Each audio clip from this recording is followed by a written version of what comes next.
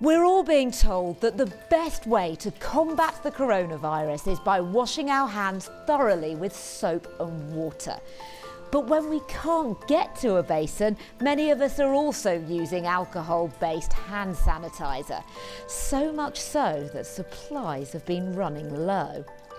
One company we met in Taiwan last year hopes to have found the solution. This is the EliClean, a device that's claimed to create your own disinfectant. The first step is uh, we just add water into our electro reactor. And then the water structure will turn into the hydrogen peroxide. And the hydrogen peroxide is a kind of oxidant.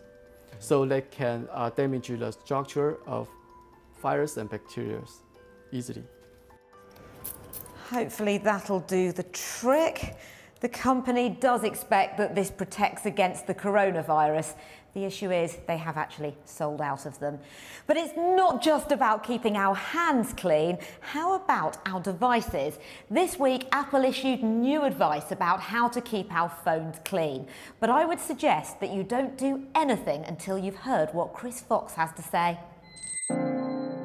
With the growing concern around coronavirus, I thought I'd be better safe than sorry and smothered my phone with antiviral gel. But it turns out that some hand gels and sanitizers can actually damage the oleophobic oil repelling layer of your phone screen that's supposed to keep fingerprints off. So check this out. If I put my phone next to one that has the layer intact, you can see that this one looks like I've been eating pizza off it. It's covered in fingerprints and oil. This one does have some fingerprints on it still, but not nearly as many. And now if I wipe down this phone with a microfiber cloth, the fingerprints come off super easy.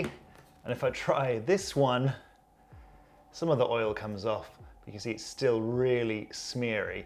And as a final test, if I pop my fingerprints on there, you can see that this one is absolutely gross and this one not nearly as dirty. So how can you clean your phone without damaging it? Well, this week I met with microbiologist Dr. Lena Ciric and she told me how. You don't actually need to use antibacterial or antiviral products on your phone. You can just use simple soap and water.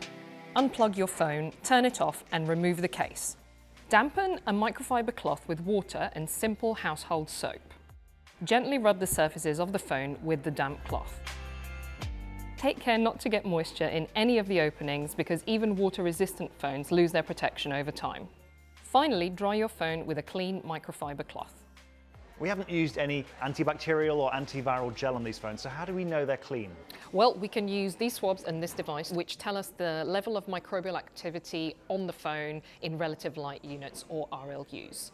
So the higher the number we get, the higher number of germs. The results are pretty good. So we would want a surgical surface to be uh, a reading of 50 or less, and all of our phones have had readings of less than this. So we're pretty good. So they're significantly cleaner just with soap and water? Yep, they are. And how is that possible without using antiviral gel? What's going on here? The main ingredient in the soap, which is the detergent, is basically lifting off the grease and the grime and the germs from the surface of the phone, which is then rinsed off with the water, and that's what makes it clean.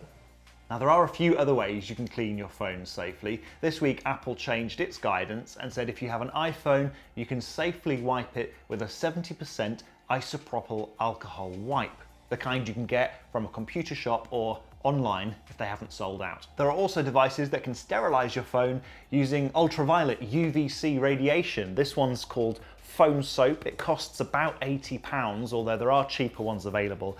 And what you do is you pop your phone inside and let it cook for about 10 minutes.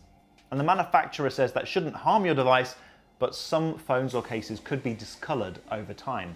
Finally, what can you do if, like me, you've stripped the oil repelling coating off your phone screen? Well, there are some ways to fix it. First of all, you can get a screen replacement, although that's not going to be the cheapest option.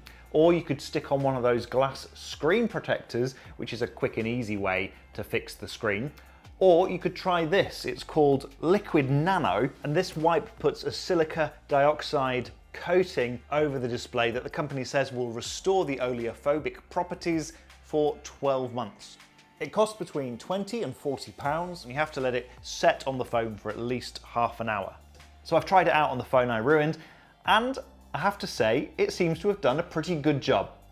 So that's one solution to what could have been an expensive mistake. Just remember that if you do clean your phone, as soon as you touch it, you're putting germs back on it again. And the most important advice remains to wash your hands thoroughly and frequently.